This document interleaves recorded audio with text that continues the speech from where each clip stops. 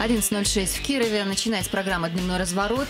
Сегодня четверг. Студия Анна Лапшина. И Светлана Заньков. Всем здравствуйте. Всем добрый день. И а, традиционно в конце года мы подводим итоги с нашими партнерами, с ключевыми фигурами, представителями бизнеса, представителями а, власти, представителями науки, культуры и искусства, активистов, с активистами. А, и мы рады приветствовать в нашей студии Валентина Пугач, ректор Авиатского государственного университета. Валентин Николаевич, добрый день. Здравствуйте, уважаемые уважаемые радиослушатели. Надо сказать, что в этом году мы не часто с вами лично встречались в этом эфире. А, очень большой загруз был у университета. Мы, конечно, внимательно следили за вашей деятельностью, и специалисты вуза приходили к нам а, а, постоянно, как на работу, буквально в эфир, и о каждом своем новом проекте отчитывались и в преддверии проекта, и в течение, и по завершении. И поэтому надо вас заверить, Валентин Николаевич, мы следили точно, очень пристально да, за деятельностью Я очень благодарен, что вы проявляете проявляете такой искренний интерес, такой содержательный, не для галочки, а действительно вам интересно, что происходит в университете, что университет делает для города и для нашей области. Ну да. За это спасибо. Ну как? Ну вы же драйвер развития региона. Спасибо, что вы это заметили. Мы никак иначе не можем. Мы сегодня встречаемся с итогами, и а, вот а, накануне буквально договорились, что разобьем наш эфир на четыре таких больших серьезных блока. Это кадровая политика университета. Это очень важно, потому что когда а, любое предприятие, а университет тоже в некотором роде предприятие, да, реорганизуется, то мы э, понимаем, что Явно это будет как-то касаться кадров. И понятное дело, что, в общем, кадры решают все, никто не уходит от этого постулата. И поэтому нам, конечно, очень важно понять, а, а что было сделано за этот год, на ком а, делались акценты, а, что а, ставилось во главе угла, когда вы, э, когда вы ставили задачи своим сотрудникам. Второй блок – это очень серьезный, на мой взгляд, тоже блок. Он всплывает там, явно, явно из вашей деятельности. Это взаимодействие с региональной властью и бизнесом, потому что мы видим массу программ, которые были реализованы за этот год, таких четкого направления заказа. Вот что нужно бизнесу, то мы и готовим. Что нужно вот, кадровому резерву власти, то мы и готовим. Что нужно там науке, культуре, то мы и готовим. Это важно, потому, на мой взгляд, э, мы обсуждали предварительно, потому что э, хорошо и правильно, когда студенты заканчивают вуз и они сразу имеют работу. И эта работа не для галочки, а это работа, которая действительно какой-то вклад в экономику там, да, и в культуру э, региона и страны внесет. Я бы даже сказала хорошо и правильно, когда студенты еще учатся в ВУЗе и уже имеют работу или возможность прохождения практики, возможность получать какие-то знания не только в теории, но и вот ну, просто, просто руками вот что-то там потрогать, а поделать. еще лучше, когда результат. Да, прямо, конечно. прямо во время учебы. А, безусловно, конечно, образование и приоритетное развитие, а, новые факультеты, новые программы обязательно мы тоже сегодня обсудим. Ну и, естественно, куда деваться от материальной базы, потому что ВУЗ должен быть обеспечен всем для того, чтобы реализовать вот эти задачи, о которых мы сегодня уже говорили. Приступим. Итак, кадровая политика университета. Ну что ж, а, по поводу кадровой политики. Ну, вы знаете наш основной слоган, что мы формируем будущее. А, и для того, чтобы это будущее соответствовало задачам, которые самой жизнью поставлены перед нами, университет должен изменять не только ситуацию вокруг себя, но прежде всего меняться сам. А что такое университет? Это не в первую очередь здание, сооружение, лаборатории и аудитории. Э, университет – это преподаватели. Преподаватели и сотрудники университета. И какие они, какого качества, насколько современные требования вернее, насколько современными взглядами они обладают, соответственно, это они будут ну, транслировать и передавать своим студентам. Поэтому мы в этом году, и я пролистав свой ежедневник за этот год, насчитал очень большое количество мероприятий, которые были направлены на изменение преподавательского состава. Притом, э, вот начали этот год мы с очень интересного проекта. Знаете, очень много мероприятий и по линии Минобра, и внутри университета генерируется для молодых ученых, для молодых преподавателей, программа там э, поддержки аспирантов, а, ну и так далее. Там гранты, конкурсы, э, различные формы э, доплаты и поддержки. Это для молодых специалистов.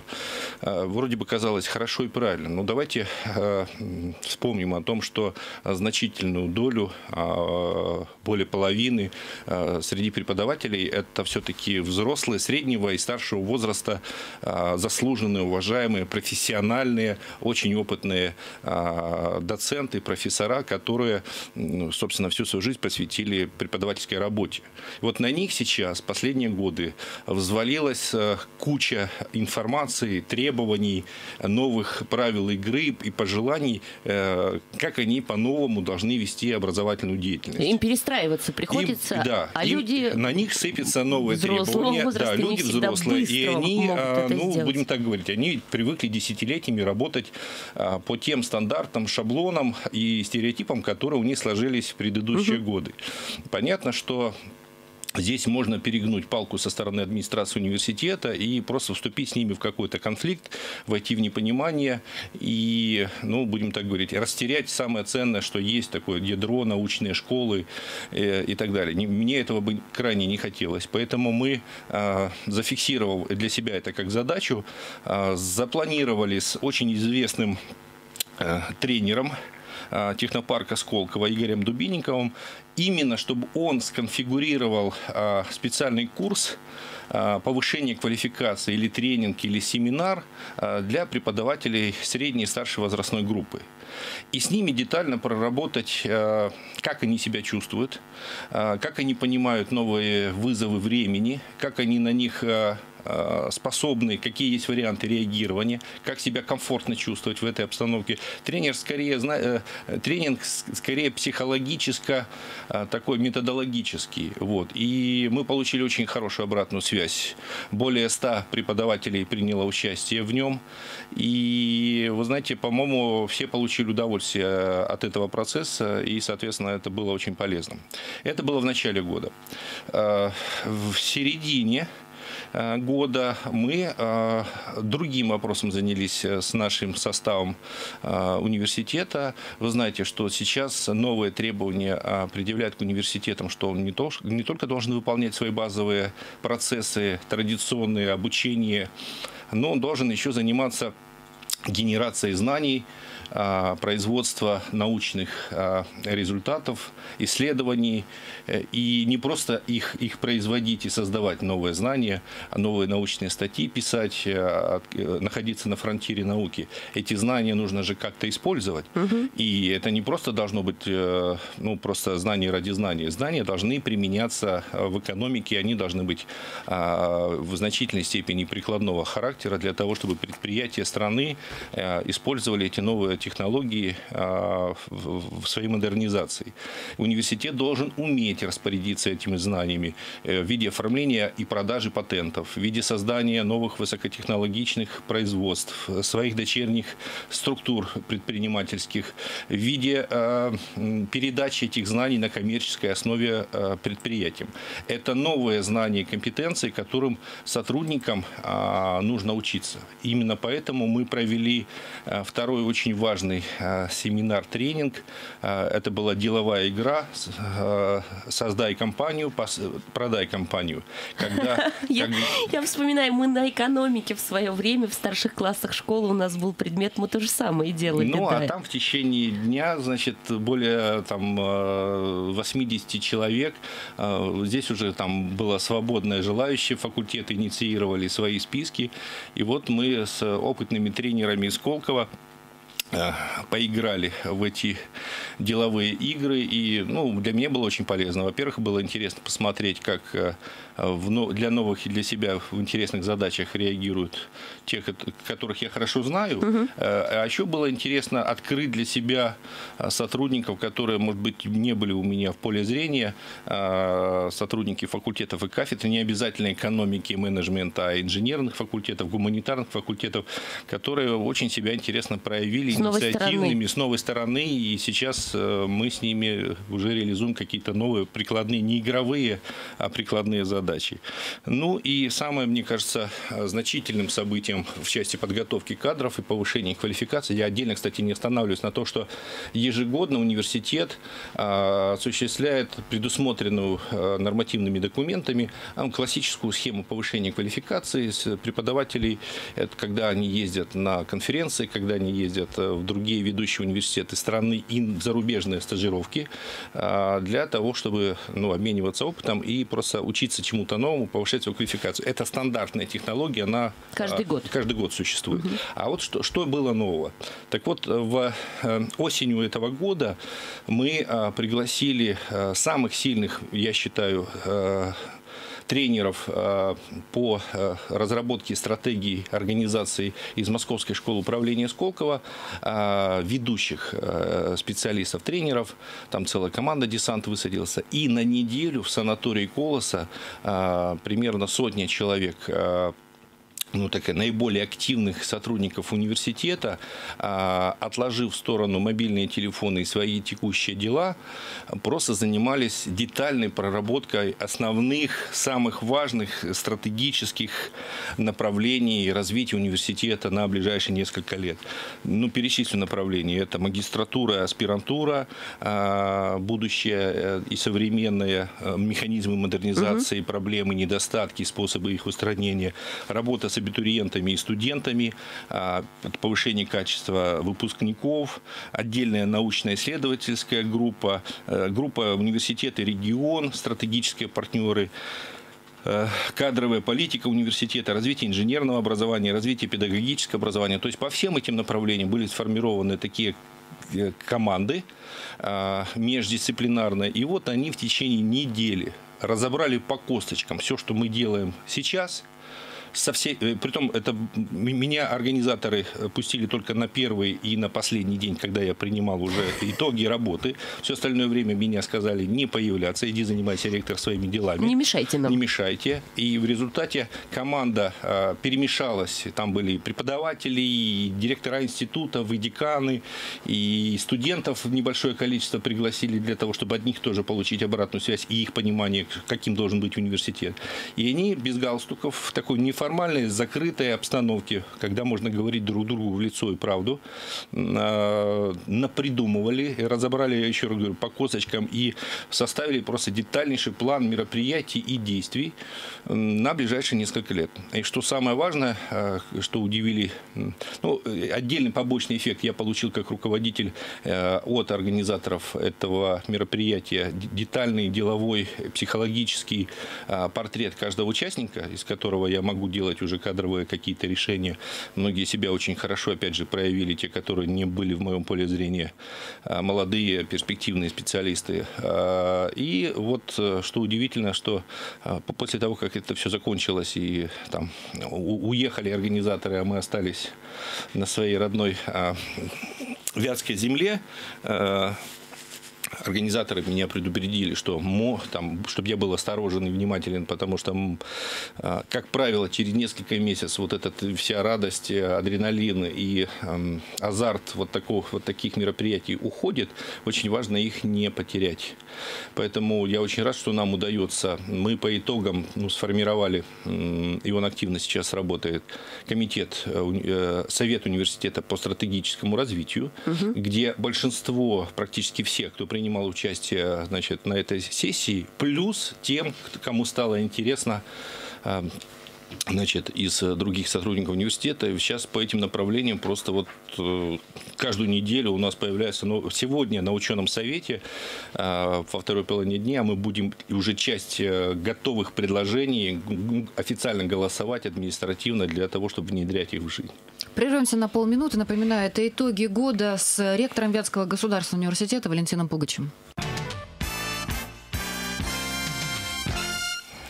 Возвращаемся в эфир. Валентин Пугач в нашей студии, ректор Вятского государственного университета. И мы подводим итоги года. Говорим о кадровой политике, о кадровых решениях, о преобразованиях и каких-то стратегических совершенно там решениях, которые принимались в течение этого года.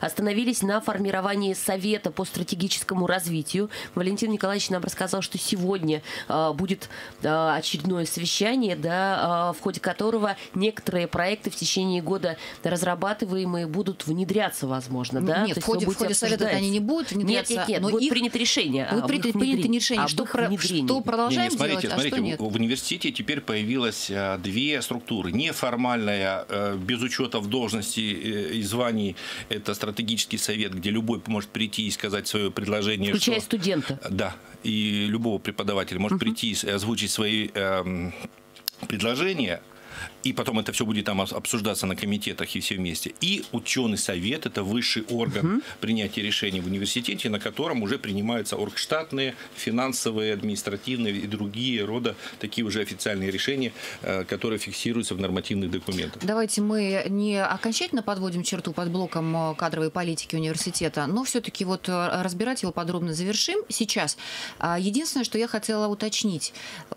По моему ощущению, судя по тому, что вы рассказываете, усилия, а, которые прилагал ВУЗ в этом году, были направлены на изменение сознания а, сотрудников университета в соответствии с требованием времени. Совершенно как бы это верно. пафосно не звучало, мы понимаем, что время сейчас такое, что мы бежим, как Алиса там в стране чудес, нужно бежать в три раза быстрее, чтобы хоть куда-то двигаться. Чтобы ну, на изменение сознания, смотрите, в первую очередь, да, меняться точно нужно. Меняться как? Мы для себя нашли, что у нас одна из главных проблем это, так как мы очень большие, у нас э, э, там более тысячи человек только преподавателей, а всего сотрудников в университете там две с половиной тысячи, э, поэтому большое количество сотрудников. И одна из главных проблем это недостаточная коммуникация всех уровней, горизонтальных, там, диагональных, вертикальных, каких угодно. Поэтому очень важно было вот выработать механизм э, получения обратной связи, механизм встречи междисциплинарных, без, межфакультетских, межинститутских, вот этих контактов, только благодаря которым появляются новые идеи, они обсуждаются, и они начинают притворяться в жизнь. Но и тут еще очень важно, что правила игры устанавливают, получается, вот не только ректор сказал, или там, например, распоряжением там, Минобра это делать. Очень а... много решений принимается коллегиально вот на уровне таких комитетов. И, и правила советов. игры для всех одинаковые. Совершенно и верно. они для всех прозрачны. Как Светлана сказала в перерыве, демократию вы там развели у себя. Ну, а как же без этого? Все правильно. А взаимодействие с региональной и властью, и бизнесом, следующий блок, которым хотелось бы подступить. Почему мы попросили об этом поговорить сегодня в ну, эфире? Ну, был бы плохой университет, если бы да. он, а, будучи федеральной структурой, находясь на территории, окуклился и занимался бы своей веселой, интересной внутренней жизнью, ничего не выдавая, никак не помогая развиваться своему региону. Ну вот эта вот история, на самом деле, когда, а, о которой много говорилось, и проблема, которая обсуждалась в последние десятилетия, это вузы, которые штамповали просто вот, да, дипломы из студентов, выпускающихся, которые не находят работы. Без какой-либо оглядки на реальные потребности. Э, кадровый рынок. Кадровый рынок, э, потребности предприятий и организаций, учреждений, органов власти региона. Это все у нас давно позади. И мы несколько лет системно занимались для того, чтобы понимать, э, где мы живем, кто нужен, каждый месяц э, встречаемся, находимся в переписке с региональными министерствами, с региональной службой занятости, Э, э, входим на различные профессиональные союзы машиностроителей, экономистов, финансистов, э, всех, кто у нас есть на территории, входим в профессиональные союзы торгово-промышленной палаты именно для того, чтобы держать руку на пульсе, именно для того, чтобы понимать, кто нужен, какие есть проблемы на предприятии, зовем их к себе и показываем все ноу-хау, все интересные инновации, которые у нас есть для того, чтобы предложить им. И и это приводит к тому, что количество партнеров, количество контактов, контрактов, э, различных договоров, э, услуг, работ, экспертиз э, выросло просто в разы. И там вот первое, что приходит в голову, нас очень порадовало, что городская администрация, например, в этом году сделала университетом, ну, наверное, основным партнером по сбору анализу, обобщению а, социологической или другой информации, связанной с ситуацией в городе. Угу. И, Я прямо вычеркиваю свой дополнительный Да, по потому что они, вот, значит, администрация города, мне очень, это очень приятно, они не, в отличие от прошлых лет, не сами там формируют свое какое-то мнение, какая проблема в городе самая важная и как ее нужно решать, а они спрашивают у населения города, посредством социологических э, и различных других исследований, которые для них проводит университет. А, университета неплохая сложилась социологическая служба, угу. и э, вместе с экономистами нашего э, факультета просто мы, мы собираем самую и анализируем статистическую официальную информацию, финансовую информацию и общаемся с населением, проводим различные опросы, из чего получаются очень интересные выводы, предложения, которые с интересом слушает городская администрация, городская дума, и на основании этих выводов и информации принимают свои решения. Валентин Николаевич, как часто это происходит, вот эти вот Все опросы? чаще. Это, а опросы происходят, ну, во-первых, часть опросов мы инициируем сами. Угу потому что нам нужно понимать там, ну, по самым различным, по всем направлениям. Я сейчас не буду тратить время перечислять. И часть вопросов э, нам Притом, так, знаете, интересно, мы сначала в инициативном порядке их проводили сами. Да давайте а, напомним нашим слушателям. Ну, Вы же помните э, этот прекрасный совершенно социологическое исследование, это этот опрос, который сделал ВУЗ по собственной инициативе, глобальное исследование города по удовлетворенности. по удовлетворенности жизни в этом городе во всех аспектах. Тогда это была инициатива ВУЗа, э, и э, совместно мы это обсуждали да, с группой активистов, здесь и в этой студии да, тоже да, обсуждали. Да, да. И этот опрос был представлен, кстати говоря, не просто так, не то, чтобы прям все власти ждали, что этот опрос будет представлен. Пришло, пришлось какое-то время ждать, пока его выслушают. Хотя э, готов был и губернатор, готов был и сити-менеджер, но не прям не завтра пришли послушать его, правда? И тогда мы еще говорили, что именно на основе научных исследований, социологических исследований надо принимать решения в городе, особенно глобальные. И в за... разрезе районов, в разрезе да. э, улиц конкретных угу. и кварталов, и в разрезе различных, ну, действительно, сфер. Безопасность, да. транспорт, э, удовлетворенность там э, различными э, услугами, услугами магазинами. И вот именно за этот год перешел, э, произошло изменение сознания именно властей, и это заслуга вуза в этом отношении. И ты видишь, Ань, последние новости, которые выходят вот сейчас в конце года. Вуз получает контракт, вуз получает заказ на социологические исследования. Здесь у нас озвучил господин господин Сидельников, который отвечает городской администрации за развитие малого и среднего бизнеса, относительно обеспеченности горожан а, торговыми центрами, торговыми точками. Стационарными, это, Да, это первое. Такого не было раньше. Поэтому мы увидели хаотичное вот это вот строение больших теперь пустующих торговых центров. И было на самом деле очень много вопросов, почему убирают вот отсюда да. и предлагают вот там, вот. где никому вот. не надо. А вот такие решения надо принимать э, очень детально, опросив э, жителей э, тех районов, которые там живут живут и работают, для того, чтобы э, ну, соединить эти, там, э, это понимание с требованием нормативных документов, с различными внешними факторами, предложениями инвесторов и принять взвешенное квалифицированное решение. И следующее очень важное, серьезное а, а, заявление, которое было на днях тоже опубликовано, что и новая транспортная система тоже будет основываться а, в том числе на исследованиях вуза, а не просто только согласно нормативным актам, которые просто устарели очень многие. Совершенно верно. Для меня это была новость. Я вот это узнала только из СМИ. Ну, смотрите, э, можно долго перечислять такие вещи. Самое важное, что муниципальная областная власть, э, я надеюсь, и бизнес все в большей степени будет, э, принимая различные важные стратегические для себя решения, опираться на статистический, аналитический, научный потенциал нашего университета университета, который у себя нарабатывает компетенции по этим сферам и все более ну, полезные, прикладные э, свои решения, рекомендации э, вырабатывает. Самое сейчас... главное, что это полезно, ведь не только вот... Это э... только часть. Давайте я буду перечислять. Все, давайте дальше. Да. Через, через полторы минуты. А, Мы ну, сделаем хорошо. сейчас перерыв и через полторы минуты продолжим.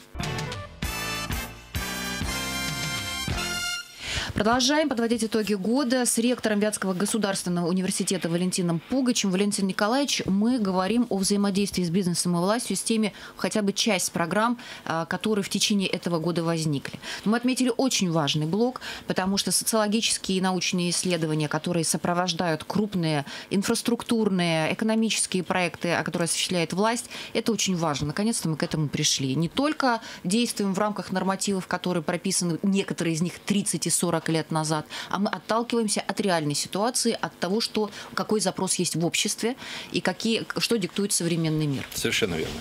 Бизнес, может быть. Э, смотрите, вот другим важным для региона событие, я считаю, это долгожданное открытие инжинирингового центра Вятгова. Угу. Такое сложное, непонятное название, но смотрите, в городе впервые появилась площадка физическое пространство, а, где а, инженеры, а, конструкторы, технологи, дизайнеры готовы по заказу предприятий или инициативно они это делают, разрабатывать очень сложные, новые, современные, импортозамещающие станки и оборудование, могут проектировать а, целые предприятия и производства или технологические линии, которых нет, но очень хочется создать нашим кировским предприятиям и организациям. А, делать это в виде чертежей, в виде цифровых 3D-моделей и делать это в металле – то есть одновременно там есть и офисно-конструкторская часть, где конструкторы проектируют эти вещи. На бумаге. На бумаге. Или, ну, на, или на компьютере. На компьютере да. сейчас, на бумаге практически нет. И э, спустившись на первый этаж, они выходят в э, значит, современные мастерские, оборудованные станками, оборудованием и оснасткой различные, где есть специалисты, технологи, где эту деталь, этот станок и это значит, э, изделие можно а, изготовить, собрать включить, провести испытания, измерения. Показать заказчику. Показать заказчику и передать кировскому предприятию, заводу угу. под ключ. Представляете, такого, такого рода уровня услуг. И вот такой инжиниринговый центр, я напомню, что мы его стали создавать инициативно несколько лет э, подряд. Правительство области, узнав об этом, а, очень сильно заинтересовалось. И всячески э, нас стали стимулировать, контролировать в хорошем смысле и координировать, чтобы мы это делали быстрее и лучше. Правительство области, спасибо им большое в лице Министерства промышленности и профильных зампредов, и губернатора сделали все, а, чтобы мы а, успешно оформили заявку в Минпромторг и победили в этой заявке. В этом году мы в течение нескольких лет получим 128 миллионов рублей на до, до оснащения угу. и до развития нашего инжинирингового центра. У нас уже есть несколько первых ласточек. Мы разработали и успешно продали несколько комплектов различного оборудования. Трубонавивочный завод, станок, а, какие-то, я прошу прощения, сложные специфические названия, но мне больше всего понравилось, что в Котельниче а, мы а, буквально э, месяц назад вместе с губернатором открыли производственную линию по производству мононити из пластика вторично использованного. И... То есть это еще и переработка? Это, это э, технологическая... Это только переработка. Это переработка, а, притом такая высокотехнологичная, отходов пластика в современные такие материалы, которые можно использовать в различных видах э, продукции. То есть инжиниринговый центр вообще заработал э, ну, по-настоящему. И мы очень рассчитываем, что э, наша кооперация с предприятиями оборонного промышленного комплекса, перед которыми стоит задача увеличения доли гражданской продукции в течение ближайших нескольких лет, э, будет только развиваться от этого. Ну, отдельным успехом можно считать, что... Э, Нет, погодите, про прожектор так. надо еще сказать, это Хорошо. просто очень важно, потому что на прожекторе работает, это специфическая, э, специфическое организация. Это не простое там сотрудники, там сотрудники, люди с особенностями, с особенностями по здоровью. Зрение там, по-моему, да? Ну вот да, угу. это, это, и, и это очень важно, потому что ВУЗ в течение года проводил массу мероприятий, которые были направлены на инклюзию, а инклюзия это не только история с доступом, с доступным образованием для людей с ограниченными возможностями, да, с инвалидами, если говорить по старинке, но и а, инклюзия дальше, социализация в общество, социализация в, в работе, в профессии. И это очень важный шаг. И тут нужно обязательно упомянуть про форум а, создания э, системы сопровождения деятельности образовательных организаций высшего образования и реализации инклюзивного образования. Огромный международный форум на площадке вуза. Ну, опять же, спасибо, Светлана, что вы так хорошо погружены в наши вопросы. Смотрите, действительно, университет а, несколько лет системно занимался вопросами, связанными с разработкой новых технологий образовательного процесса для тех, у кого есть какие-то сложности со здоровьем. Угу. Зрение, опорно-двигательная система, а, слух, а, какие-то другие еще ограничения. И мы а, разработали целый ряд уникальных методик, оборудования и вспомогательных средств и программ компьютерных, которые э, вот эти все ограничения максимально нивелируют. эта работа была замечена Министерством образования и науки. А, университет был по итогам а, рассмотрения нашего опыта признан а, межрегиональным ресурсным центром. Мы курируем практически весь Приволжский федеральный округ. И вузы Приволжского федерального округа учим, методически обучаем, как внедрить у них наши наработки. И э, благодаря этому, собственно, Минобр нам поручил провести э, международный действительно форум по обмену этого опыта. Как это делается в других странах, в Европе, в частности, там э, и в других странах, э, как это делается в странах СНГ, ближнего зарубежья, и как это делается в стране. Вот все приехали, мы делились своим опытом, коллеги своим, и были очень интересны. Буквально на этой неделе мы получили подтверждение, что наши все отчеты по проведению этому форума и вообще по этой работе работе в течение этих лет Минобр успешно принял а, и сказал, что мы молодцы. А буквально недавно я знаю, что вы, ваш э, ролик, который был снят о проекте, который вы совместно с Наналяком делаете, э, да, э, большой проект, э, и сам проект, и его презентация, вот мы просто переписывались с коллегой вашим Сергеем Литвинцом. Он Светлана, мне сказ... расскажем слушателям, он... что за проект?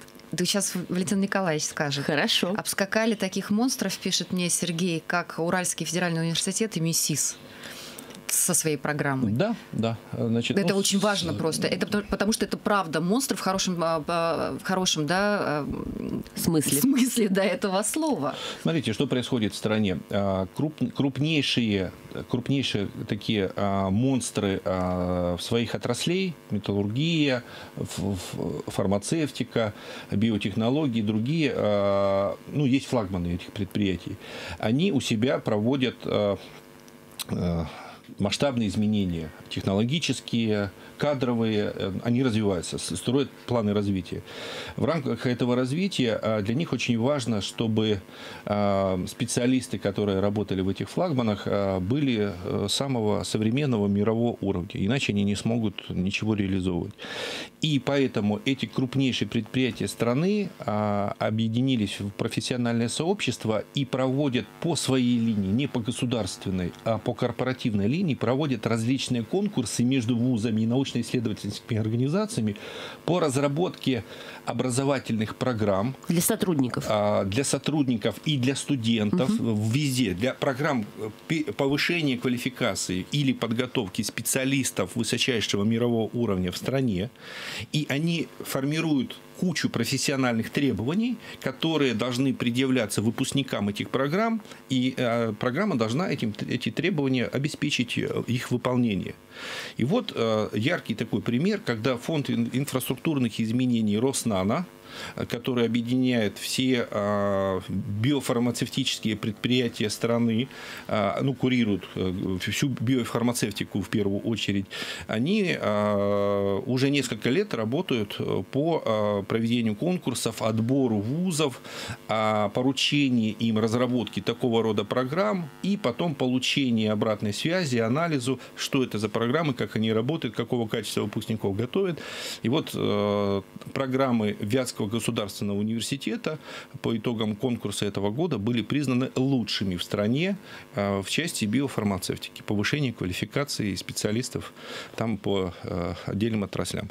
Мы действительно обогнали ведущие университеты э, из 5100, которые борются за мировые рейтинги, федеральные университеты, опорные университеты, и ВятГУ в этом плане звучит. Вообще я хочу сказать, что последние годы мне очень, мне очень понравилось. Вот на той неделе был а, на семинаре в Сколково в Москве. А, подходит э, ректор одного из региональных вузов и говорит, Антон Николаевич, можно к вам обратиться за консультацией? Слушаю внимательно. Вот мне в высшей школе экономики сказали, что ВятГУ лучший региональный вуз. Я рассмеялся. Вот, и сказали, что вы подойдите к ректору. А там ректора а, буквально недавно, первый месяц работает. Вот э, Валентин Николаевич вам расскажет, там, с какими сложностями вы столкнетесь и какими проблемами. К чему готовиться. чему готовиться и как их э, решать. Мне было очень приятно, что вот э, уважаемые коллеги о нас имеют вот такое хорошее мнение. Я думаю, это хорошим итогом этого Еще года. бы, конечно. Валентин Николаевич, три минуты остается до завершения эфира, и уже становится ясно, что блок образования и блок материальной базы мы перенесем на начало следующего года, для того, чтобы не скакать да, галопом хорошо. по Европам, а очень подробно о них рассказать, потому что образовательные программы требуют отдельного времени. Но тут есть еще э, несколько важных историй, и одну из них надо подчеркнуть. Вот сегодня, когда у вас будет э, стратегическая сессия, ученый совет или... Стратегический совет. Стратегический Нет, совет. Ученый. Сегодня бюрократический. Сегодня ученый совет. Сегодня, И да. поэтому вы не сможете присутствовать на финальном а, мероприятии этого года в рамках а, а, работы э, группы «Киров меняется» у, у- у Ильи Вячеславовича Шульгина. А вы там тоже ключевые фигуры. Но Илья Вячеславович в курсе, мы тоже в курсе. э, И надо только сказать, что ВУЗ на протяжении многих лет и в этом году, безусловно, а, активным участником являлся и является вот как раз в трансформации городского пространства. И а, таким важным событием, которое стало такой красивой, красивым восклицательным знаком, наверное, в этом году был Кировский урбанистический форум, Киров Урбан Форум. Первый, а, первый вообще за все время существования нашего города, но, как сказали, это начало, да, будут следующие. ВятГУ являлся и инициатором, и, собственно говоря, организатором, и Исполнителем, исполнителем заказа, да, заказа. городской администрации А, по проведению мы, этого мероприятия. мы о нем говорили очень много, но скажите, ведь только в одной фразе уже одна минута остается. Для вуза вот эта деятельность и этот форум что значили? Для вуза это означает э, включение в серьезную заявку университета, претендующую на то, что университет является одним из э, ключевых партнеров городской администрации по развитию городской, комфортной городской среды. Что мы хотим быть соучастниками и партнерами а, в изменениях в нашем городе, позитивных изменениях. Ну, На самом деле ВУЗ тоже в этом заинтересован, потому что это привлечение людей, молодых в том Конечно. числе, к нашему Но городу. и мало да, того, то, что люди к, к остаются. этому форуму ВУЗ э, провел свой собственный проект ВятГУ Челлендж. Он как раз а, направлен на то, чтобы не просто показать молодым людям, что мы тут стараемся, чтобы вам А было их. комфортно жить, а Студенты вовлечь занимались вопросами а, решения городских проблем. И это тоже и история будет Да. продолжаться. Безусловно. Спасибо, Валентин Пугач. Спасибо за С некоторыми вопрос. итогами года а, в нашей программе «Дневной разворот» мы с Анной вернемся через 20 минут и продолжим с Владимиром Шабардиным, уполномоченным по правам ребенка Кировской области.